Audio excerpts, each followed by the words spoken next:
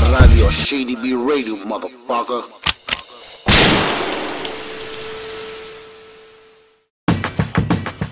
What's up, guys? For Complex News, I'm Emily Oberg. On Monday afternoon, the game came by for an episode of Well Rounded. We asked him for his thoughts on the recent rap internet phenomenon, Slim Jesus, the Ohio rapper whose drill time recently went viral. Here's what the Compton rapper had to say. Wait, can we address Slim Jesus, or do you not want to talk about No, him? let's talk about Slim Let's Jesus. talk about him. Okay. With savages, you a fuck boy, you can't hang. I think that Slim Jesus either really better be fucking killing or he's gonna get his ass smoked.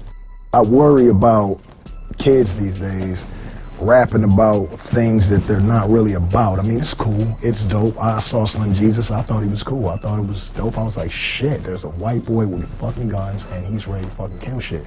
Then I seen the other shit when he was like, you know, I don't really do this and I don't, it's too late.